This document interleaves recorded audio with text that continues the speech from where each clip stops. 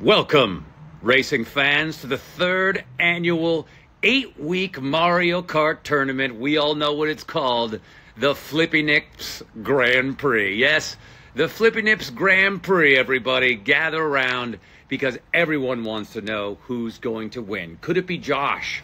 Could it be the other people? If I knew their names, I would say them. But I don't, but I know Josh's name. Guys, gals, everybody, listen, it's the third annual eight week Mario Kart tournament. Again, the Flippynipps Grand Prix. And uh, the like tensions have never been higher. The stakes have never been higher.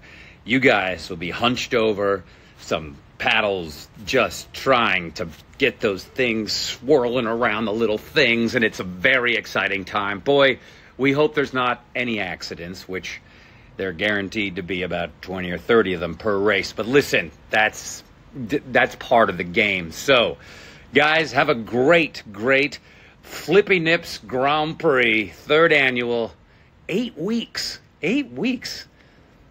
I hope you guys have jobs, you know, that are can are flexible. Anyway, Josh, thanks for this. Have a great tournament, guys. This was Joel McHale saying, Flippynipps Grand Prix, the greatest Grand Prix of all time. You heard that. That was an engine. A real engine, not on a computer, but that's not as cool as the one you guys are playing. All right.